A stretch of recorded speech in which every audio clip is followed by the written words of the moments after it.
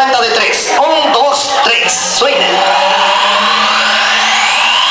Llega desde Centro Escolar, profesor Luis Armando Flores, imponiendo puro power con movimiento al ritmo de diversos géneros. El grupo de danza con ustedes, el único y original.